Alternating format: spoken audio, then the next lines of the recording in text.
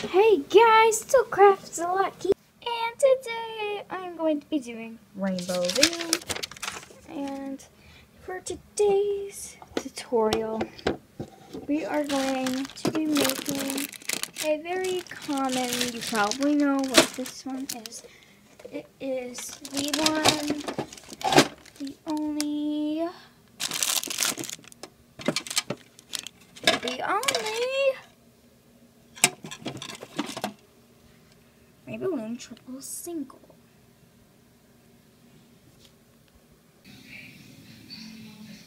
Alright, and today to make this triple single bracelet. You're going to need some supplies. You can do, you're probably going to need about two, at least two separate colors. Like, like today what doing, because it's glitzy. It's, it's Glam Monday. So I'll be doing some clears and some sparkly bands. If you want to get in se season and you have sparkly bands for Glam Monday, then please get those out. I'll be doing random glitzy colors, so don't think you can do a pattern if you want, but you don't have to.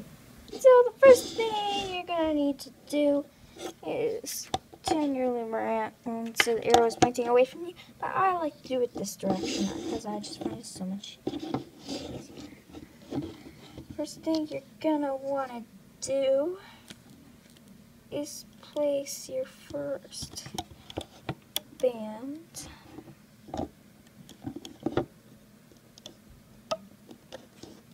Then your second band. Then your third band. And then so on.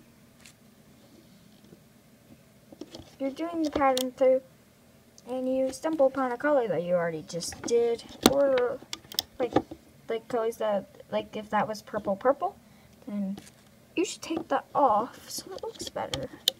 That's just me, but if you want to do that, you can.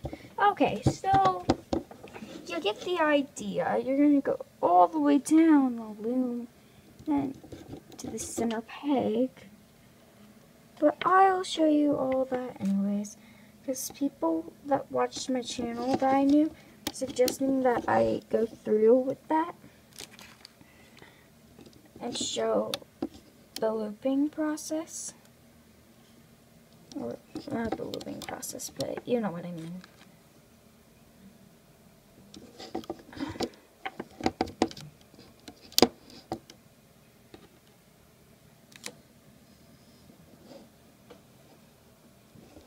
Alright, so now your Rainbow Loom board should look like that. And now we're going do it all the way down the center to that pin and then there all the way down to that pin. And I'll show you what to do next after that. Old style rainbow loom. It is just black and white this dear. And then I put a paper and it's a loom with a hook and other things. I found this book with a million bands on it. And then I found an end with an arrow on it. Wait, it's over there! And then I found out that I could do loom. And then there's two times and three times and four times. Alright, so now your board should look like this. If it doesn't, go back and fix it. But now we are going to add the triangles. Right. First, put your band there. It's kind of hard to see because I'm using clear. So it looks like a triangle. I'll show you that again.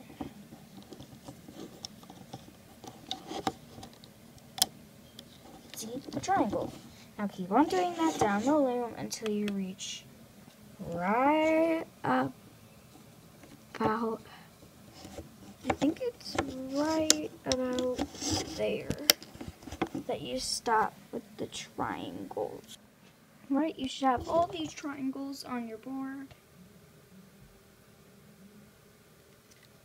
Now we're to get to the loop.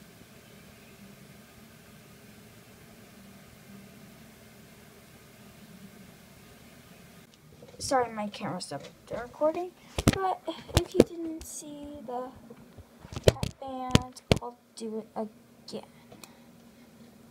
So, like that, twist it into a figure eight, put it back upon itself on your finger, and put it right on the end, right there. Goodness, I have a wrong backed up. Now, what you're gonna need to do, I'm gonna my camera, you prop it. Alright. It's kind of hard to do. Pull back the cap bands like that. Then you're gonna have to pull the top band to its correct side. So now it looks like that.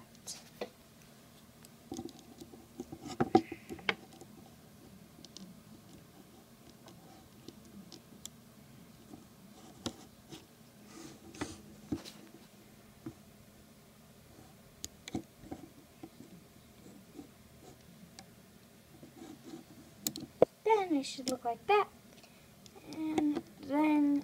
And this, oh goodness, my hand's coming up. Okay, so you get the idea. You have to loop all of these so they look like teardrops, and then we'll get to, to the next part. Alright, um, your first one should look like that. Let's look at the middle. Oh goodness, I'm doing this with one hand, so it's all kind of awkward for me.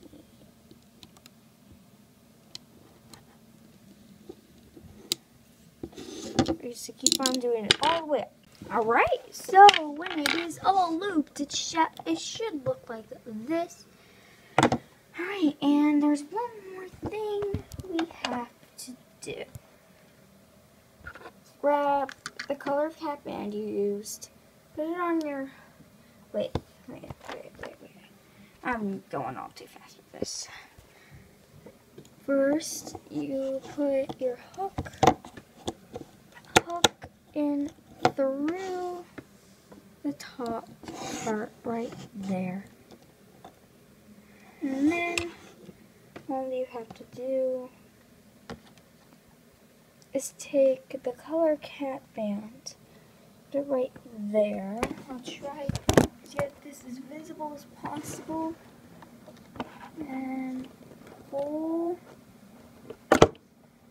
then uh, right through. It's natural if other bands accidentally get stuck. And now we're going to pull it off the loom. Oh wait, I have to put this on the thick part of my hook so it all stays together. The triangles keep all together if you're wondering. and so it should look like this. It is so pretty. I love it. And and it's it's just really pretty. And now we just have to do the expansion, which I like doing on my hook. I find it easiest. It needs to be about a four for a child. Um,